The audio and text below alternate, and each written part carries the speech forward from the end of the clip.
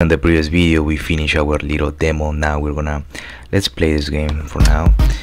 Okay so i'm pressing the letter okay i'm pressing forward backwards so i'm gonna shoot with x and once you start shooting the game starts. Let's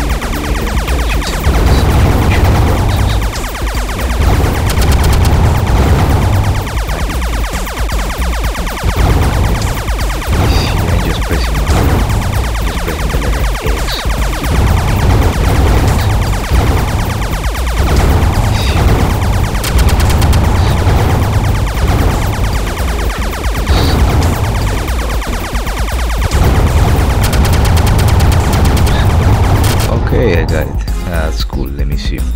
So, yeah, I have 425, 362, 41%. Okay, and you can play it again, or you can go into this home and pretty much it gives you all this information. Desktop gamepad controls, and this is the final part of the game development. Um, this is the GitHub repository where we have the code, so we finish already all the code that is inside of the HTML file right here in this index.html file. So right now we are gonna, this is the final product as we saw in the previous video.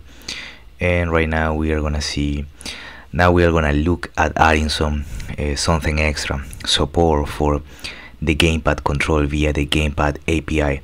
It brings a console-like experience to your web uh, to your web games. Okay, so the gamepad API gives you the ability to connect to a gamepad to your computer and, and detect press buttons directly from the JavaScript code thanks to the browsers implementing such feature. An API exposes all the information you need to hook up your game's logic and successfully control the user's interface and gameplay. Okay, so if we go here into the main.js, okay, so API status, browser, and hardware support.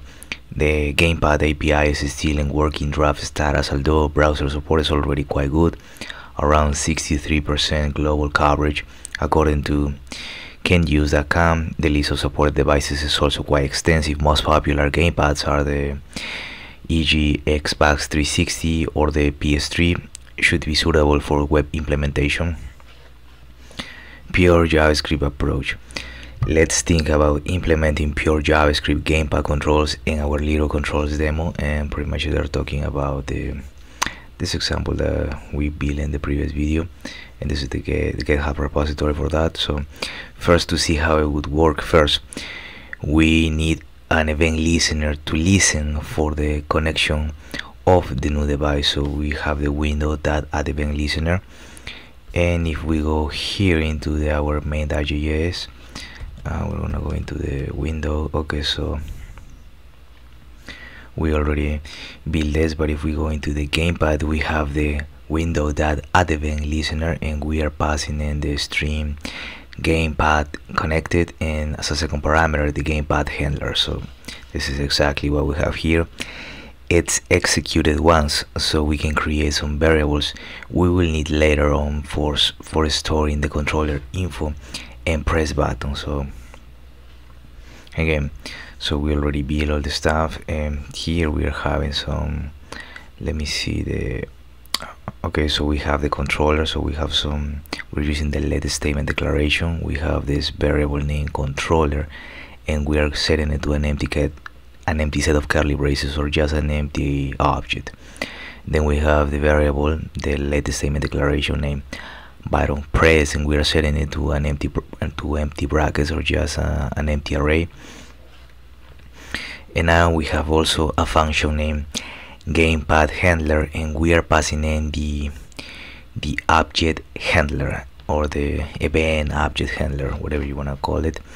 And inside of the curly braces we have the the yeah we have the controller. So we have this variable we have the controller and we are setting it to the to the object handler that gamepad. And then we have the output that text content and we are setting it to backticks and inside of the backticks we have the gamepad column dollar sign.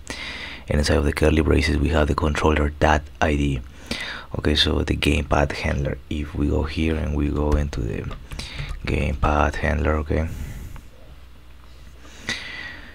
Okay so let me see. Okay so here we have the game let me see this is the gamepad handler. Uh, gamepad handler okay here. Okay in the project we use um, the var statement declaration so we use controller and button press as a global scope variables. But here we have in this function here the game the gamepad handler. Okay so we have that the second line in the gamepad so the second line in the gamepad handler function shows up on the screen when the device is connected. So if you would happen to have that device then you will have the this notice would appear 40 or something similar. Uh, 45e-28e wireless 360 controller. So in my case I don't have that um, so I don't so it doesn't appear just shows the mouse and then X and Y coordinates. And let me see what else do we have here? So we can also show the ID of the device in the case above. We are using the Xbox 360 wireless controller to update the state of the gamepad's currently pressed buttons. We will need a function that will do exactly that on every frame. And that is the reason that we have the gamepad update handler. So let me see. What is the gamepad update? Okay gamepad update handler. So we have the second function here. And okay so again inside of the curly braces we have this the the button press and we are setting it to an empty an empty array. And then we have the if statement declaration. So if the controller that buttons then we're gonna have a, a for loop. And inside of the for loop inside of the parentheses of the for loop we're gonna have this variable b be initialized to zero. And as long as b is less than the controller that buttons that length we are gonna increment the variable b by one okay? And b is a here is a let statement declaration okay? So it's not a constant so I can change obviously. Um, okay so inside of the curly braces of the for statement we're gonna have an if statement. So and the condition is gonna be if the controller that buttons and we're gonna pass in the variable b as the index array and then we're gonna chain it to the pressed okay? If that is true then we're gonna have the buttons press that push and we're gonna pass in the variable b. So that is what we have. We first reset the buttons press array to get it ready to store the latest info. We'll write it from the current frame. Then if the buttons are available we loop through them. If the pressed property is set to true then we add into the buttons press array for later processing. Next we will consider the gamepad buttons press handler function. So we're gonna go on game buttons press handler. Okay this is the function gamepad button press handler. Okay and again we are passing this variable we're passing button.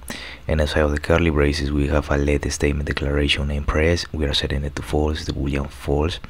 We have the for loop so we have this variable i initialized to zero. We have this condition. As long as the variable i is less than the buttons press that length we are gonna increment the variable i by one. And inside of the for loop we're gonna have the inside of the curly braces of the for loop we're gonna have an if statement so if the buttons press and we're gonna pass in the the index of the variable i okay if the buttons press and we're passing the the index array i uh, if that is equal to the button then we are gonna have in the press we're gonna have in this variable here press we're gonna set it to true okay? That is if we are gonna be outside of the for loop statement and then we are gonna return this variable press. And this is exactly what we did here.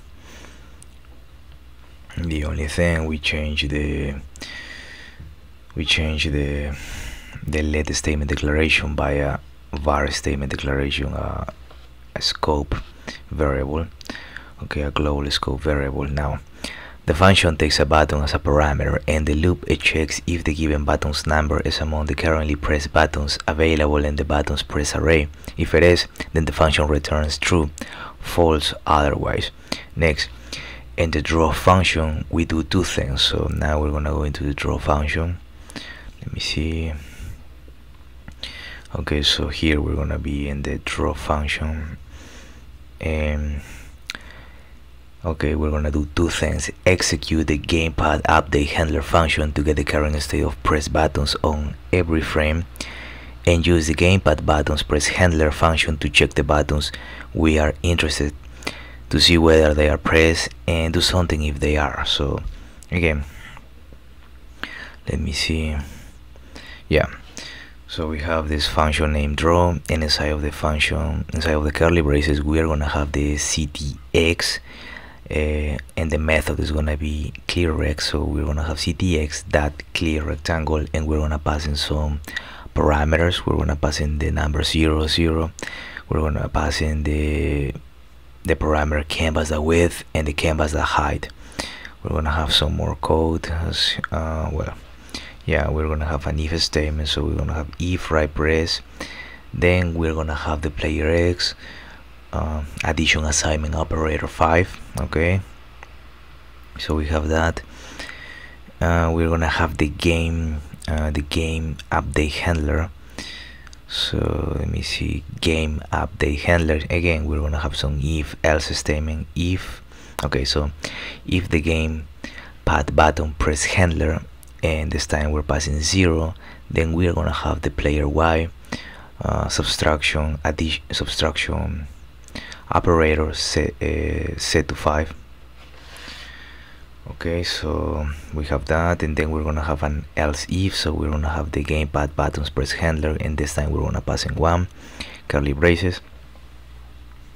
And now we're gonna have the player y addition assignment operator set to 5 okay then we're gonna have some if else statement so this is pretty much the same and finally we're gonna have an if statement. So if the gamepad button press handler and we're passing 11 then we're gonna have we're gonna show an alert that is gonna be boom. Okay no so then we're gonna have the ctx draw image and we're gonna pass in the image the player x and the player y. And finally let me see this is exactly what we have right here. And finally we're gonna have the request animation frame. And below we're just gonna be calling the functions as typing draw parentheses and then semicolon. So that's pretty much what we have